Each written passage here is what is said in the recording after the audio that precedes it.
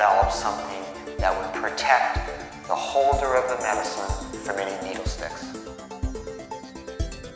My inspiration for the safety shield really comes from wanting to protect other people from needle sticks.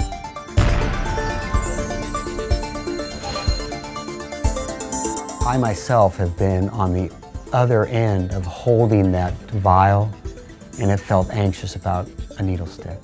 One of the reasons that I think this is really important is the fact that your risk for needle puncture is real.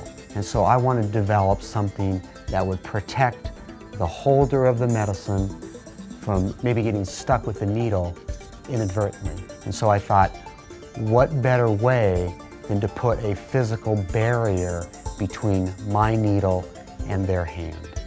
So using the safety shield is really quite easy. Simply slide and click the vial into place. Your hand is now protected behind the puncture-resistant shield. You're ready to use it, and when you're done using it, you simply throw the whole thing away. This device can be used in the setting of trauma or high stress or high tension areas when it would just be slide, click, and go. What it really does is it protects the very people who are delivering health care. And I think that there is a lot of value in peace of mind for people who are on the front lines of health care.